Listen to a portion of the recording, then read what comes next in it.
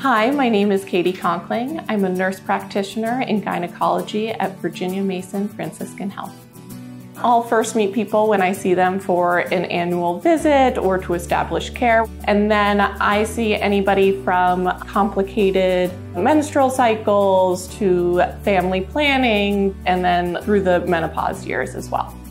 There's such an emphasis on education and preventative health within my training. And so I like to see people before something's wrong so that way we can work on ways to make them feel empowered and make good choices. I think that the most important thing for me to do is to listen first. And I think that the individual should be at the center of their reproductive choices. A lot of my job is reassurance and making people feel comfortable. So I want them to feel like they can come to me with anything.